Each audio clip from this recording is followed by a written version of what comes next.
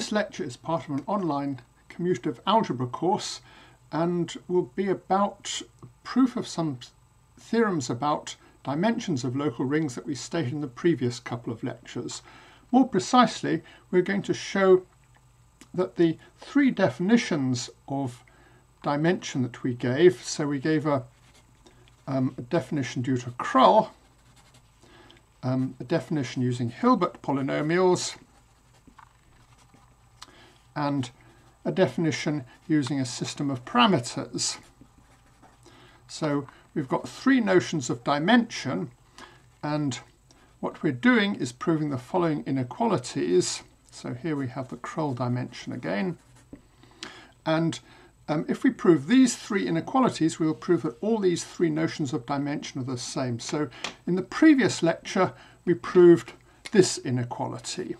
What we're going to do this lecture is prove this inequality here, and in the next lecture we will prove that inequality.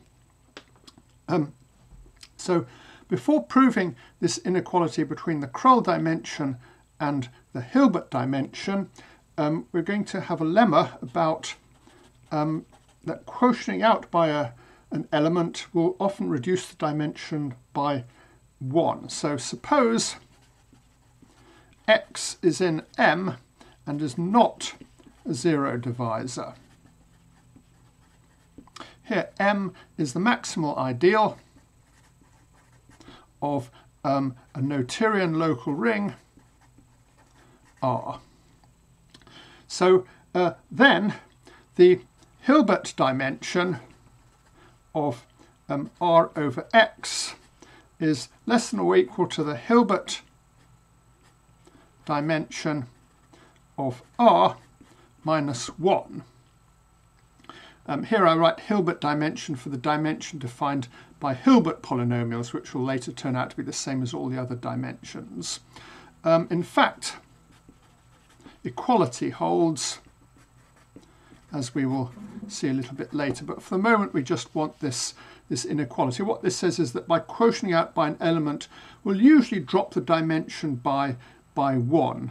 Um, um, provided it's not a unit, in other words, in the maximal ideal, and not a zero divisor. Um, if it is a zero divisor, then this need not hold. So let's just have a quick look at an example. Suppose you take R to be the local ring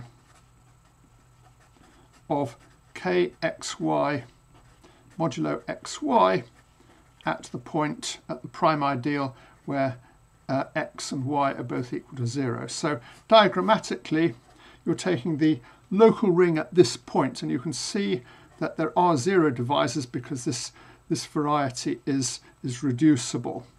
Um, then if we take x to be the element x here, x is a zero divisor. But if we quotient out by x, it's just the local ring of ky at the, um, the um, ideal where y is equal to 0. And both of these rings have dimension 1. You can see if we if we divide quotient out by x, we're just setting x equal to 0. In other words, we're basically looking at the y-axis. So what this is saying is that if you've got two lines, the, the, the two coordinate axes, and you take the subspace where x is equal to 0, the dimension doesn't actually drop by 1. So here these two dimensions would be the same. So that shows that um, why we need to add this assumption that x is not a zero divisor. Um, well, the proof of this, what we do is we write down the following exact sequence. We take naught goes to r, goes to x, this is multiplication by x, goes to r, and this, this goes to r over x times r goes to 0. And this is exact as x is not a zero divisor. So this is where we use the condition. Um, and then we, we quotient out by some power of m. So we take r over m to the n, and this maps to r over um, xr intersection m to the n, 0, and, um, sorry, not, not intersection, it's generated by those two. And um, what we get here is r over um, xr intersection m to the n. And we'll just put a warning as usual, um, this is not in general r over m to the n. Um, in fact, you can see that um, that wouldn't be exact by taking very easy examples. For instance, you take naught goes to the integers localized at 2. You could multiply by 2 the integers localized at 2. And the quotient of z over 2z goes to 0. And um, um, if you look at this example, you can see that uh, if we took r modulo m here, so let's just take m to be the ideal 2 and n to be 1, then um, r over m under multiplication by 2 um, is not a submodule of r over m. So we really do need to um, be a little bit careful about what we quotient out r by there. Um, however, although this isn't equal to m to the n in general, that the filtration x r intersection m to the n is stable um, by the strong Artin-Rees lemma. So what he's saying is if you're taking a, the filtration by powers of m and intersecting them with a submodule, you don't quite get the intersection, you, you don't quite get powers of m times r here, but you get something pretty close.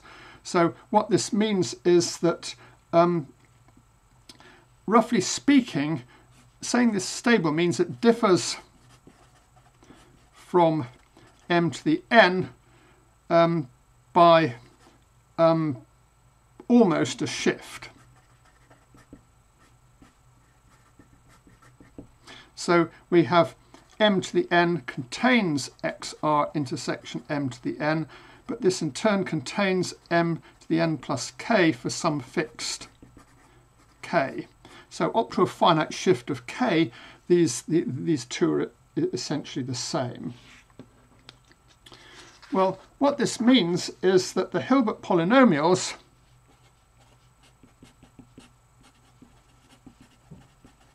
of these two terms, so we've got naught goes to r over x r intersection m to the n goes to r over m to the n. So we're looking at these two terms. So the, so the Hilbert polynomials are, are each bounded by a, shift of the other. So if the two Hilbert polynomials are f and g, we have would have f of n is less than or equal to g of n is less than or equal to f of n plus k for some fixed k or something like that. So they have the same degree and the same leading coefficient. um, because th this condition for polynomials implies that f and g must have the same degree and same leading coefficient. So f minus g has smaller degree.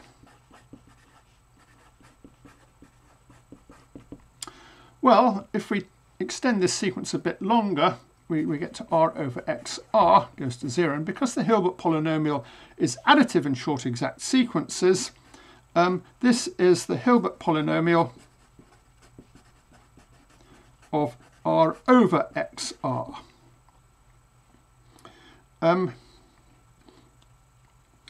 um, so, um, um uh, the, the, the, this proves the lemma that the Hilbert polynomial of x over xr has degree less than that of the Hilbert polynomial of r, which uh, is what the lemma stated. Um, now that we've got this, we can prove the, that the Krull dimension is less than or equal to the Hilbert dimension of a local ring. Um, so suppose the Krull dimension is greater than or equal to n. So we want to prove we then want to show that the Hilbert dimension is also greater than or equal to n, and this will be enough to, to prove this inequality. So what we do is we pick p naught contained in p1 up to pn, where these are primes in the ring, and we can, we can find the chain of strictly increasing primes of length n because the Krull dimension is at least n by assumption. Um, and we may as well quotient by p0 so we can assume p0 equals 0 so the ring is an integral domain because p0 is prime. And now what we do is we pick x in p1 but not in p0. Um, we notice that x is not a zero divisor um, because we've quotiented out by p0, so um, so we're, we're, working with an integral domain. So, so this is actually x is just a non-zero element of p1. And now we have the Hilbert dimension of R is strictly greater than the Hilbert dimension of R over XR by the lemma that we proved, um, which is greater than or equal to the Krull dimension of R over XR, and this follows by induction on n, and this is greater than or equal to n minus 1 because we've got a chain p1 up to p um, um, n, sorry, p1 over x up to pn over x. So we've got a chain of n minus of length n minus 1.